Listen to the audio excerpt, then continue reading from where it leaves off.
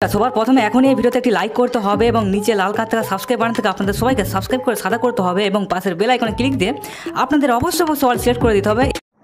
সবার প্রথমে নিজের পছন্দের মতো একটি ছবি করার জন্য নিজের পছন্দ মতো একটি ছবি নিয়ে নিতে হবে। এরপর ছবিটিকে সুন্দরভাবে নিজের ব্যাকগ্রাউন্ডে সুন্দরভাবে বসাতে হবে। এরপর ছবিটিকে বসানোর পর পেন এখানে ক্লিক করব। এবার ছবিটিকে সুন্দরভাবে ব্রাইটনেসটাকে বাড়িয়ে নিব। এরপর সুন্দরভাবে আমরা এখানে হেড পোস্টার সুন্দরভাবে মাথাটাকে একভাবে সেট করে নিব।